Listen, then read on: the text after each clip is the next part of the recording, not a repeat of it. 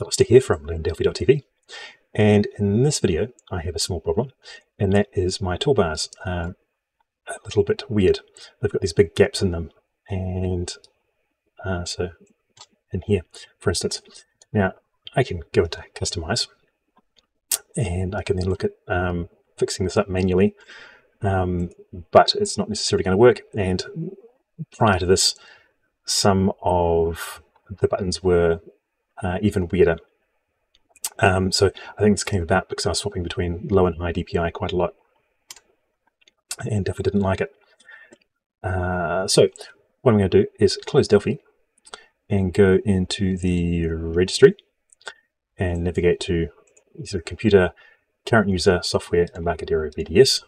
And then uh, I'm using Delphi 11.3, which is, all of Delphi 11 is uh, version 22 of the compiler. So we come down to toolbars. And what we can do is delete it or if you want to save a copy of it first uh, go to export uh, which is what I did to be able to reproduce the problem. And we're just going to delete the uh, the entire registry entry for toolbars. And then we're going to restart Delphi we can see that my toolbars have been restored. Now, I like to customize these a bit, so here's a bit of a sort of productivity tip.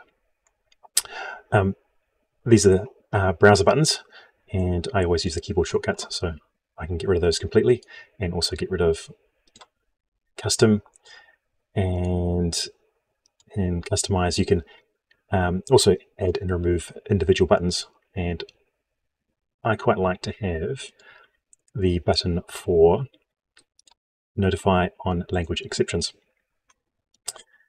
And try and check that on the end somewhere there, just like that. Uh, because this menu item is very, very uh, embedded. It takes quite a bit to get to it. The other thing is shift all the toolbars to the top row beside the menu and we get a bit of extra space. So if you liked that productivity tip, do check out my book Code Faster in Delphi, which you can find on my website, learndelphi.tv. I'm Alister. Thanks for watching.